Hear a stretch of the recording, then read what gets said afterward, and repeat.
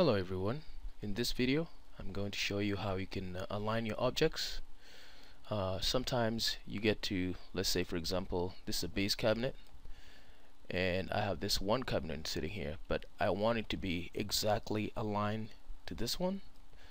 Uh, the way you do it, you highlight the cabinet, hold your shift, this one here, and you align the centers and guess what? It's aligned it doesn't matter which side.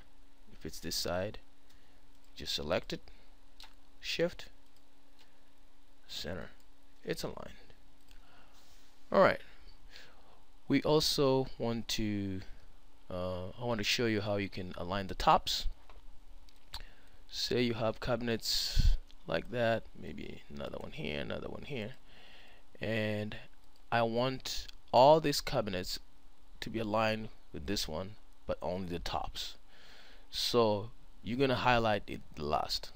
Hold your shift. Shift. Next one. Next one. This is the last one. Align tops. So you go there. Align tops. Boom. Right control Z. Now let's say I want to align tops with this guy. Well there won't be any space so I want to align tops with this so hold, hold your shift. Highlight highlight highlight.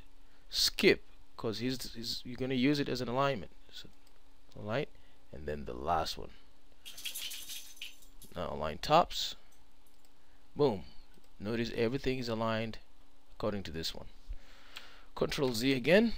Uh, let's say I want to align them with this guy. Right? Select this one. Skip align align align this is the last one. It's going to determine the alignment. Done. It's that simple. Thank you very much